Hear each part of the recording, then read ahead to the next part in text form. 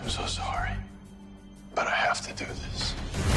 The end of last season, after the loss of his father, Barry decided to go back, change the timeline, save his mom, which changes everything. I got this. The major change and the most obvious change for Wally is that he's now the Flash. More like Kid Flash. Don't call me that. I call you that. Okay, how about no one calls me that? I wasn't expecting it at all. I wasn't expecting to uh, transition into Kid Flash so soon, but because of Flashpoint, anything can happen, really. So uh, it was just exciting. As soon as I read the script for 301, I was over the moon. Exactly how it should be.